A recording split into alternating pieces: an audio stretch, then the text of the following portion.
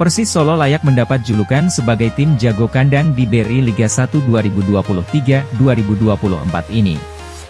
Pasalnya, catatan tandang tim asuhan Leonardo Medina terbilang cukup buruk.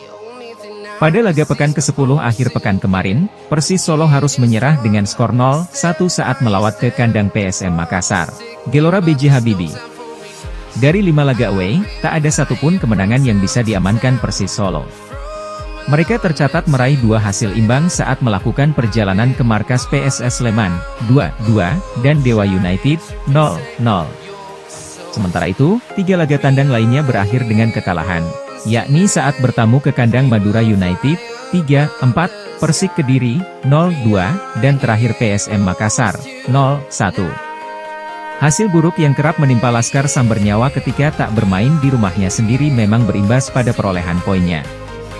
Sejauh ini, mereka menduduki peringkat ke-14 klasemen dengan koleksi 12 poin dari 10 laga. Leonardo Medina mengatakan, salah satu kelemahan yang sejauh ini tak kunjung membaik dari Persis Solo ialah skema bola mati. Laskar Sambernyawa terhitung rentan kebobolan saat menghadapi set piece dari tim lawan. Hal itu setidaknya terbukti pada laga melawan PSM Makassar. Diego Bardanca dan kawan-kawan tak bisa sigap mengantisipasi set piece tim tuan rumah hingga akhirnya kebobolan lewat gol Kenzo Nambu. Kami masih saja kebobolan lewat skema bola mati. Sebetulnya, kami telah berusaha untuk memperbaiki aspek tersebut. Namun, terkadang, di lapangan situasinya berbeda, ujar Leonardo.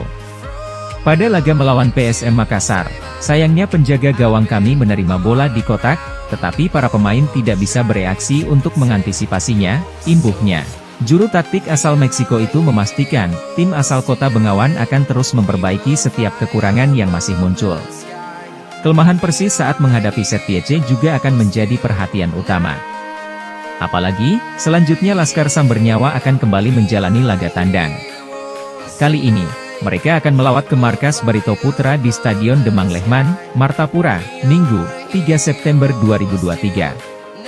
Yang jelas, tidak ada cara lagi selain terus bekerja dan berusaha untuk memperbaiki kekurangan tersebut, yakni mengantisipasi bola-bola set piece, ujar pelatih berusia 52 tahun tersebut. Kami harus melakukan analisis dan terus melanjutkan pekerjaan untuk memperbaikinya. Sebab, kami kebobolan terlalu banyak dalam situasi-situasi tersebut, imbuhnya.